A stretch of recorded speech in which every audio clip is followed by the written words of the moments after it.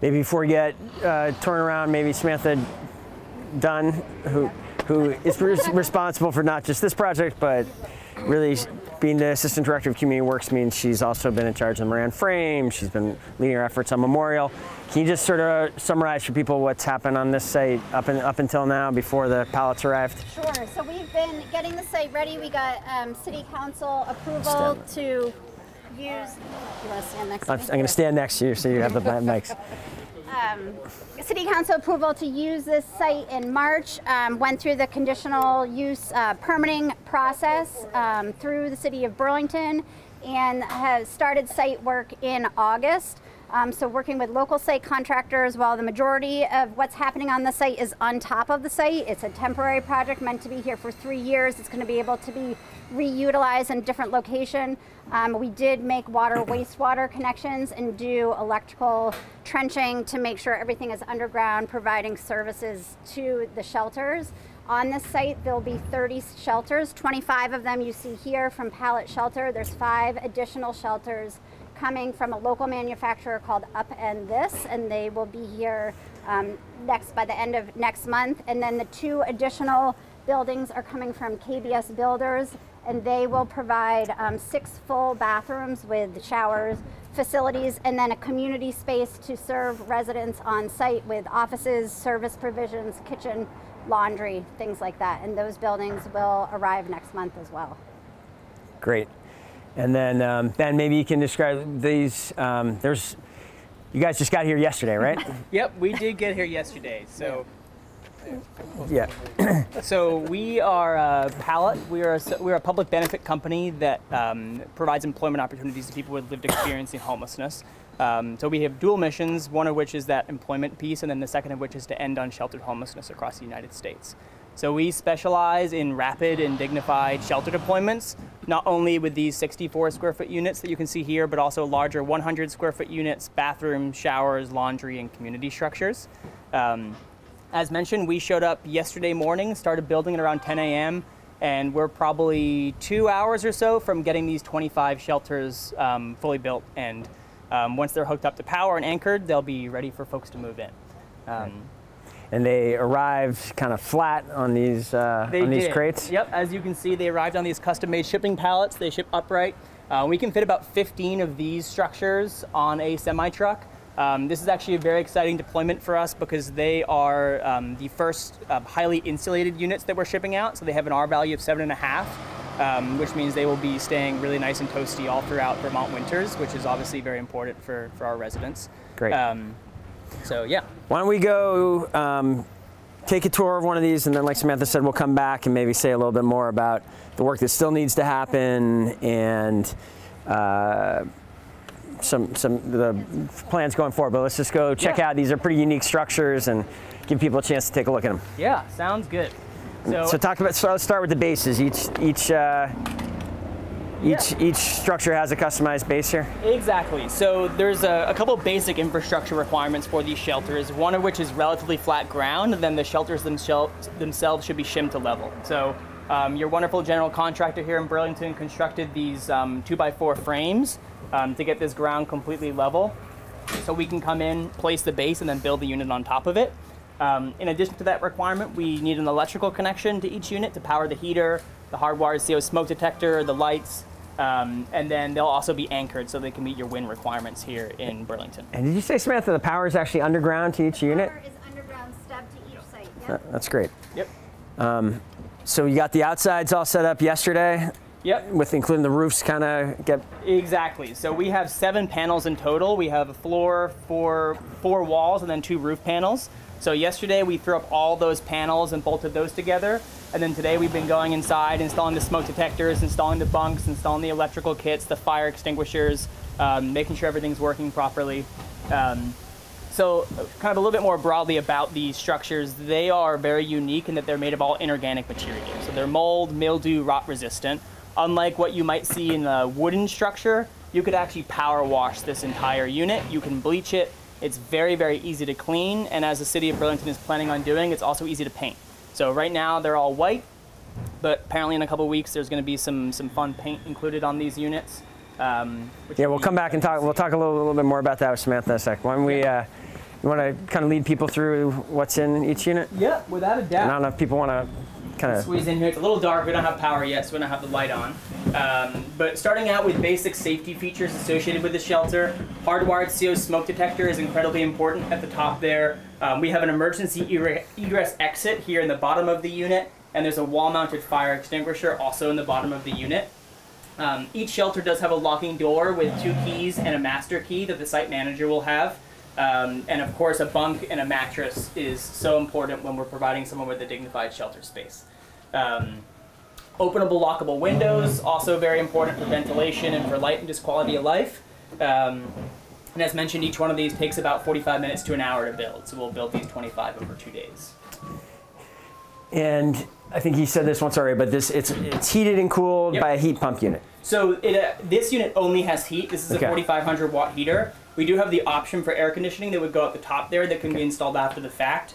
Um, okay. Because of the color of these structures, it doesn't really heat up like you would in a tent or a car. So it pretty much feels like you're in the shade in the outdoors. So if folks need AC, that can be added on a later, at a later date. Great.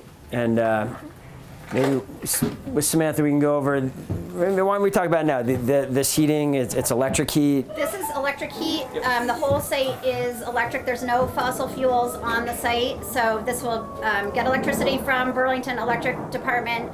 Um, they've been working with us to make the uh, efficiency upgrades, and the, the larger buildings that are coming on site will have um, solar on them, and that will contribute to the energy, you know, off taking the energy load of the whole site between BED and I think some state incentive programs, we've been able to yes. secure some essentially net zero funding to net make this zero funding, um, certainly for the community buildings, and really those will produce more uh, energy than they consume, and so some of that energy will sort of come towards the bill of these buildings.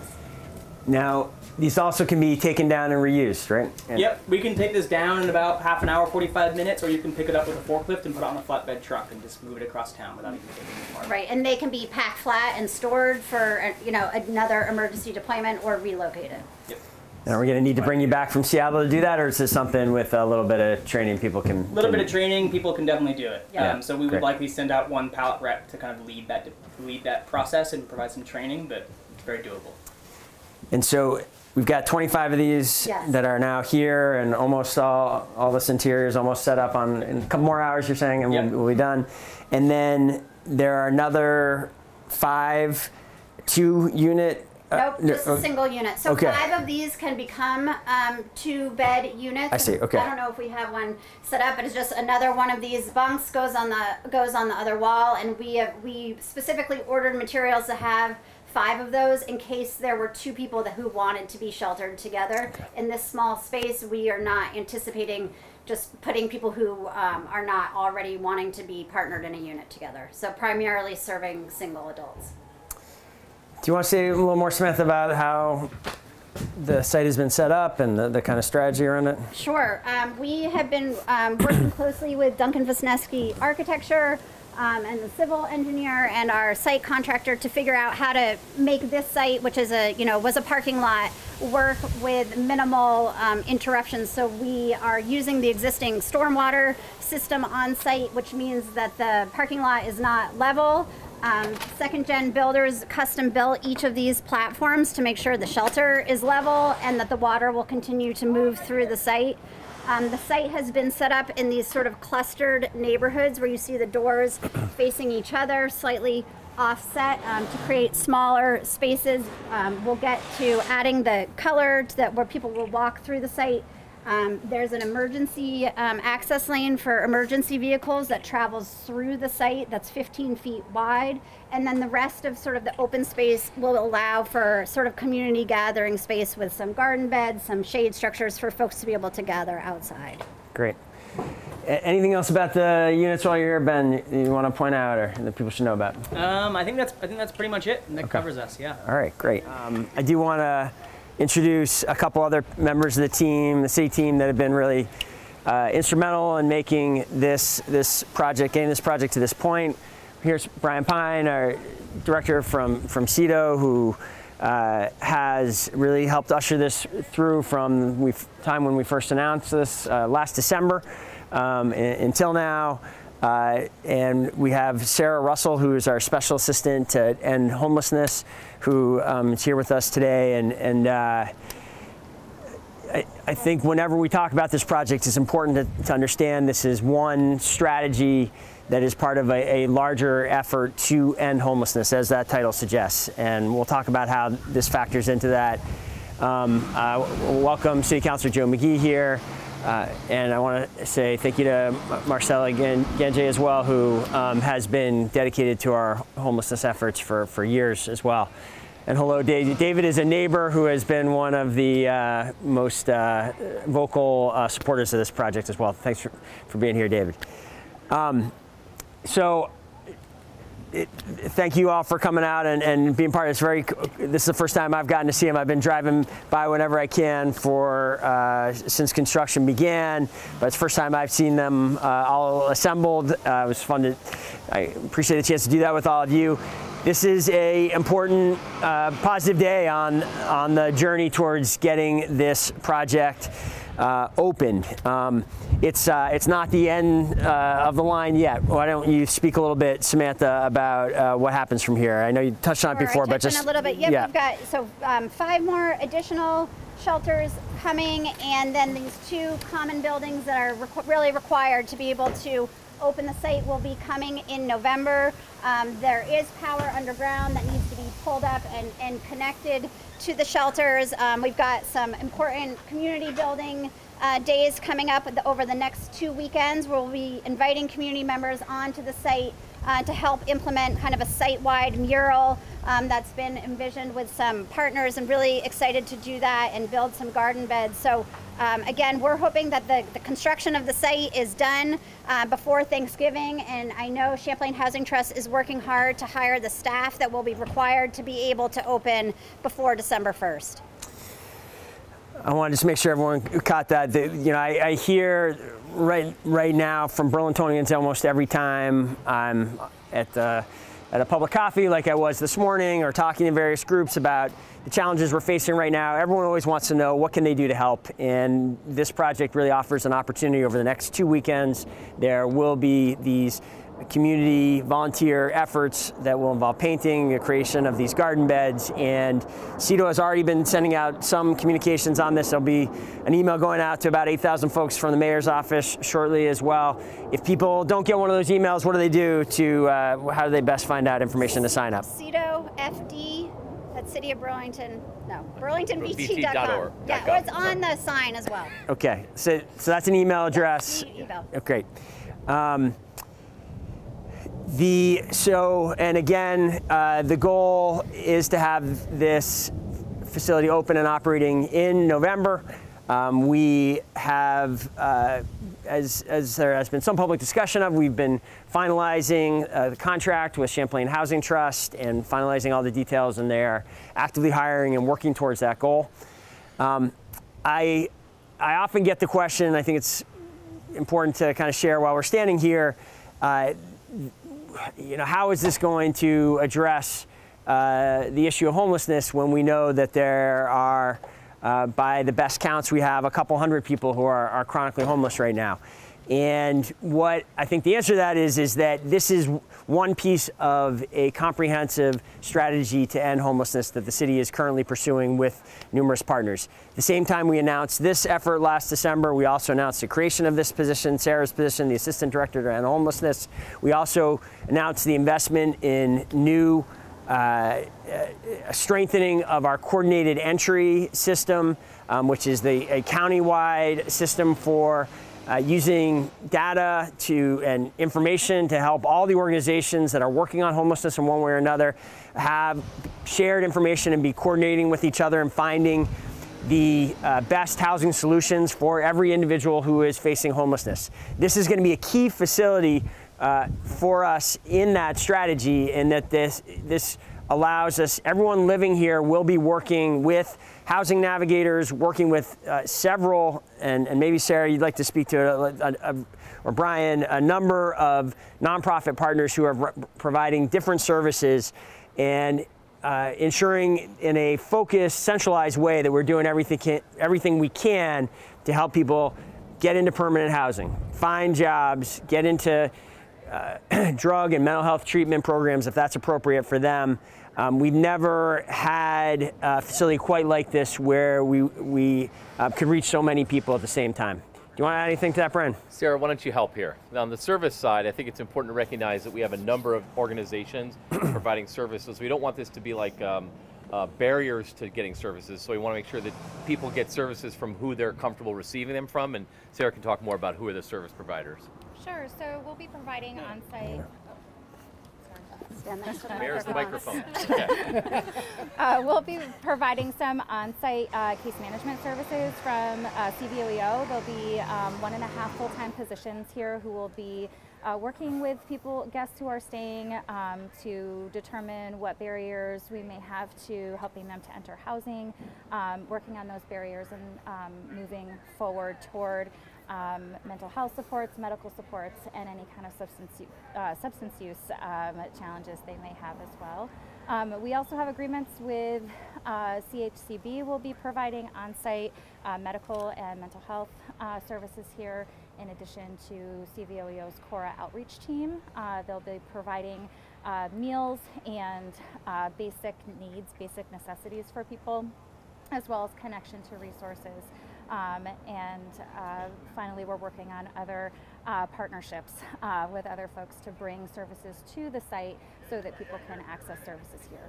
I think that's something about the site design, uh, Miro, that I didn't mention. That the, the community building that um, will be at the front of the site. Every, anyone that comes onto the site will need to pass through that building. Will be interacting with staff um, and have access to all those services right here. They won't be required to take a bus, to walk, to get a ride, to access those services. And we have heard from other municipalities across the country when researching how to do this that that has really had an impact on some of their hardest to reach folks. That being able, it's some people it might take them a month um, to be comfortable talking to people, but once they're here and they're comfortable and it feels safe, they're then able to engage in those um, services that are available right here that you know they're not able to access otherwise.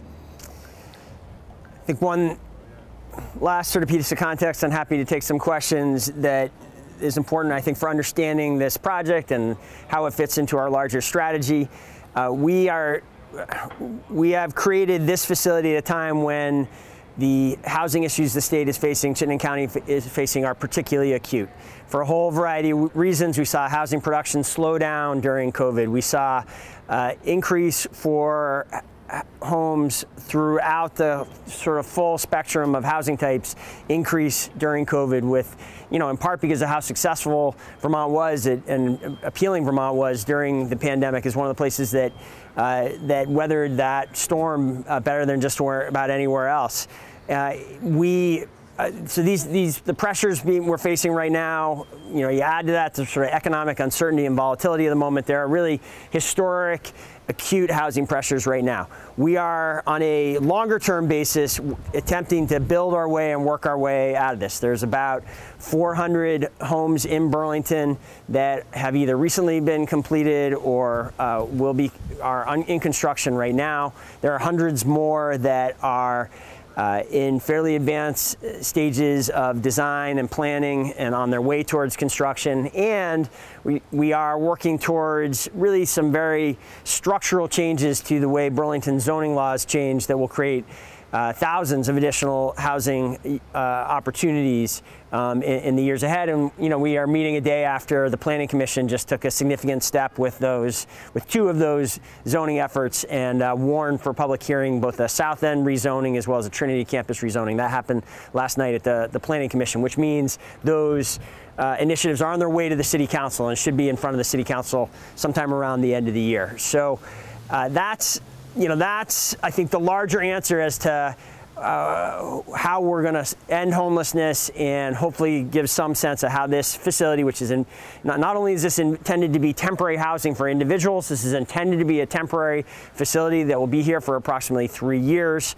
Um, we heard from Ben how these uh, these homes can be uh, moved and reused elsewhere, um, and we are already in discussions with Champlain Housing Trust and starting the sort of stakeholder discussions about what would happen after three years to the site. Uh, from my sense, this should remain um, permanently part of the housing solution in Burlington, but we're just at the beginning of the conversation what that looks like. So with that, um, happy to answer any other questions that people have. Do you have any idea yet what the eligibility will be like? You know, who will be able to apply, how people will be able to apply? Sure. Yeah. Uh, we are uh, working with CHT as the operating partner to determine policies and procedures. Um, we haven't quite honed in on exactly um, how that'll be determined. However, we have been consulting heavily with the outreach teams um, who work within Chittenden County to be able to begin to identify folks who might be a good fit for the shelter. Are you taking applications yet? No, there's no applications at this time. Like I said, we're still working through the policies and procedures. Um, and if someone is is currently without housing and interested in obtaining shelter, they should be reaching out to 211, which is the current resource.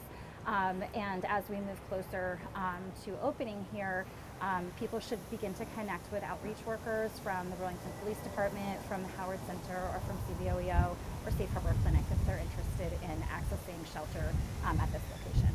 Have you gotten a sense as to how many people are interested?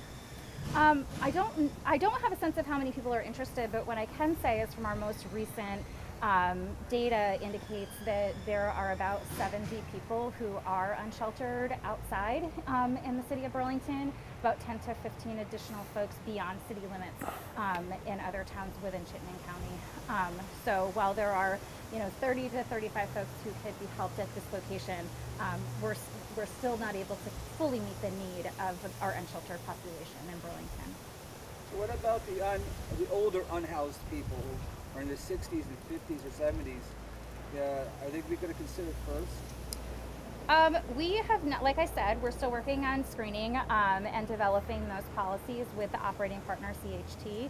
Um, we have had some conversations with AgeWell um, in Chittenden County, and they, if there are um, people who fall within their um, within their service range in terms of older folks um, or people who have disabilities, they will actually come on site to provide um, age-specific case management for that population. Why is it a temporary uh, pod community? Why only three years? so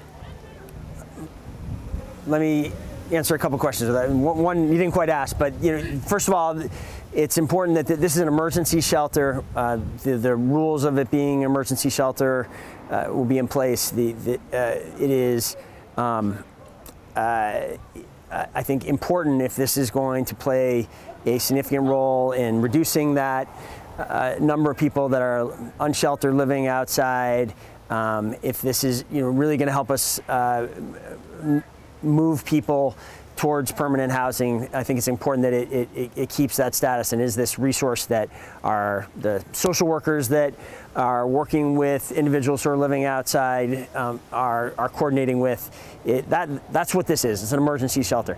Um, I, you know, Pat, um, it is certainly my hope and belief that we shouldn't uh, we shouldn't need this facility three, three years from now. You know, before the pandemic, we had about 35 chronically, uh, it varied a little bit, but at one point, our lowest point, we had about 35 chronically homeless individuals. We had a much lower population of people who were un, you know, unsheltered and living outside.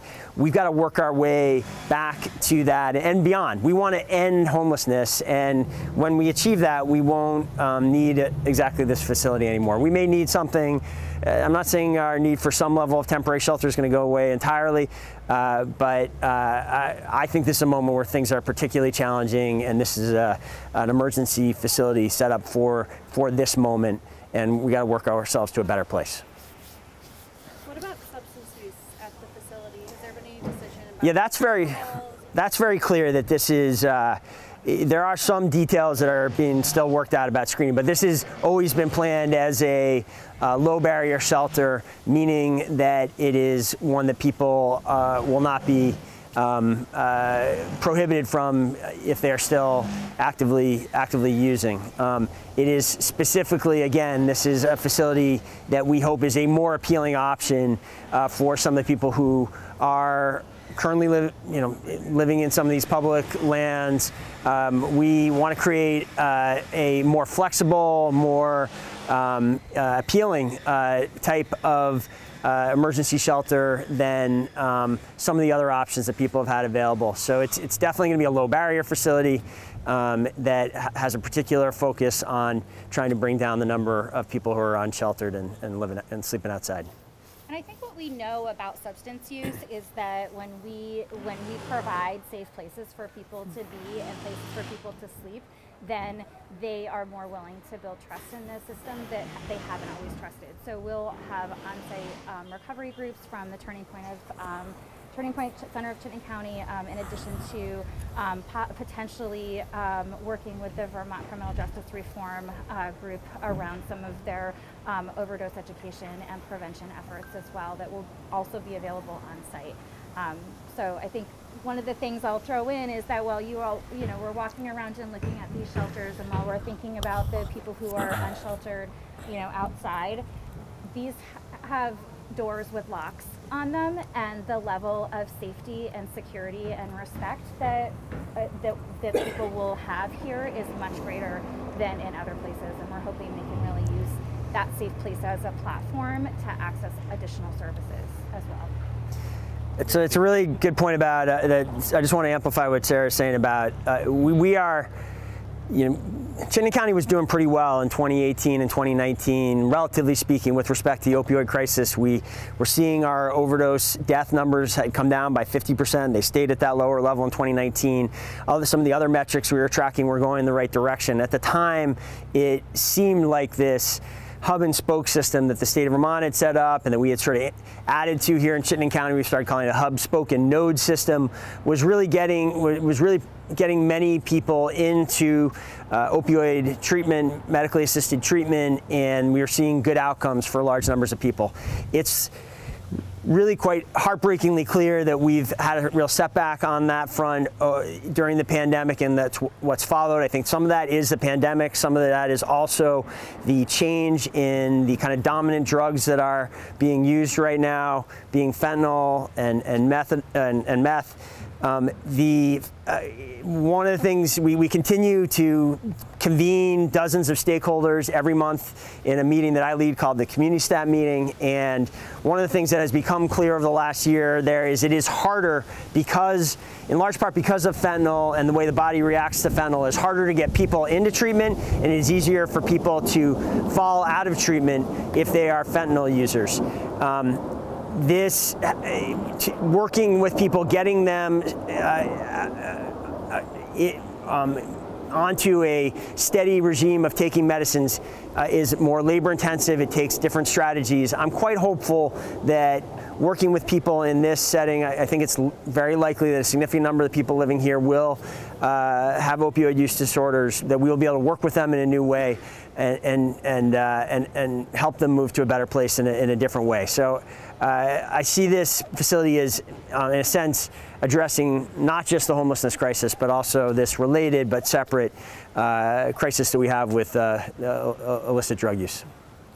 There's, there's a few, well, a couple of Yeah. things that come to mind, but one in terms of opening, you're thinking late November, early December. It sounds like some of that's contingent on CHT hiring positions. Um, is, Do you want to speak to? sort of, yeah. are, is there concern that like, you know, I know labor's force is an issue right now, that there might not be the workforce to open on time? It seems like you're building everything relatively quickly. We're, we're building, and I know Champlain Housing Trust is is working hard to hire the people required. Um, I think there's been a slight um, softening in the labor market, which was one of the reasons that Champlain Housing Trust sort of agreed um, to enter into a contract with the city of Burlington. That was one of their major concerns and kind of why why it took so long um, for us to get here in these discussions. So I think we're feeling confident um, that CHT is working hard. I think all of us are we're working together um, to staff up the facility to get it open.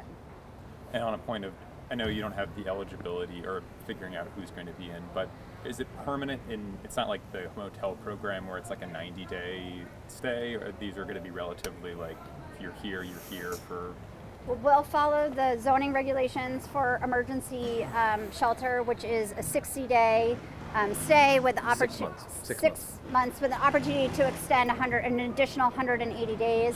Um, so we'll be working within those zoning regulations. But yes, it's a it's a much longer program and not a need to reapply every month and things like that.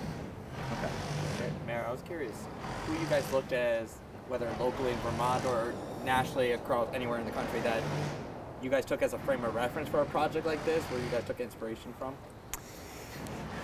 We did, um, and this was a team that did a lot of the, the the heavy lifting on this, but this is, um, uh, as we heard from Ben earlier, where there's something like a, a hundred of these, uh, approaching a hundred of these communities that um, have been set up in cities around the country. As we were considering this strategy, uh, the CEDO team looked at, at um, many of these examples that you know might be a little bit ahead of us, and we did take uh, confidence from the way in which those were operating that this was uh, this was a good idea, that this was something we could get done and that would have a have a positive impact. Um, I, am you know encouraged to hear from uh, from Ben uh, that this is you know I, I, think when we have this installation complete and set up. Um, I think it will compare well to any comparable installation uh, in, in, the country. Appreciate the uh, focus on design, on details that make this really, uh, you know, a community and a neighborhood to live in, as opposed to, uh, you know, uh, just some, something less than that. So uh, we're, we're pretty excited and proud about how this is coming together. What about success stories or data from those other? Like, are they being successful in yes. some shape or form? Or? Yes. There so are examples. So yeah, Yeah. There, there are examples on our website of links to other communities who have found success with this project, with these kinds of projects as well. And the factors in their success are much of what the mayor has has mentioned around sort of building a sense of community, strong interaction with the community, with the neighborhood around. So making sure that you know the, the folks who are living here are also learning skills about being valuable neighbors and parts of their communities, in addition to respecting their space. Um, so there are certainly some best practices um, and different kinds of policies that we've looked at from other communities um, as well. Mayor, you promoted this project in last December as part of your 10-point plan. What do you make of seeing it almost ready to open less than a year later? And how important was having the ARPA funds to kind of nudge it through? more than a nudge. Yeah, I, uh, I think the ARPA funds were critical. Uh, it would have been very, very difficult to um, move so quickly on a project like this uh, without that kind of support from the from the federal government. Um, you know, similarly, we uh, we were able to set up uh, the, the work. You know, Anew Place really led the way, but the city working with them, uh, a shelter there in a very short period of time. I mean, we have. Uh, this period of federal investment will serve this community well for, for, for years, years to come. Um, I, I do think this team has worked really well to make this project move uh, remarkably quickly if you compare it to some of the other projects that we talk about and, and, and focus on. At the same time, um, I think a project like this that is an emergency project that is trying to respond to emergency con, uh, conditions should have been even easier to set up. And one other uh, thing that we haven't I, I, believe gotten done at this point, or it's, it's not done, but it's it's in the works. Is a zoning change that would um, make it uh, easier for future emergency shelters to be permitted and set up, so that they don't have to go through the uh, uh, process is really intended for permanent projects that are going to be here uh, in the community, um, you know, essentially permanently. Where, where, I, where, where, where are we with that zoning change? I think that zoning change is sitting with the planning commission. There was, um, you know, lots of questions and um, not full agreement, and the decision was made. I think because uh, this project did receive its um, permit and was able to move forward um, to focus on some of the other zoning change initiatives that are going to bring permanent housing. Um, so I think it's still on the table, and, and it's something that we should still be looking at in the city of Burlington. Um, so it's sort of a, a not totally dormant um, zoning right. change at the planning commission level. Thanks for that update. Glad we're getting the uh, South End and Trinity campus first, but we will make sure we come back to that. It, it, it really, this a project like this shouldn't be subject to the same appeals and uh, delays that um, uh, that um, they, you know, frankly, I don't think the rest of the system should be subject to the same appeals and delays either. But we should start with these emergency facilities. It's probably worth noting too that the state of Vermont really supported our effort in terms of the operating fund, so they made a large commitment to cover the cost of staffing the shelters. So that was really pivotal as well. And how does that contract work with CHTU? Are you are you paying them a sum to basically operate this place?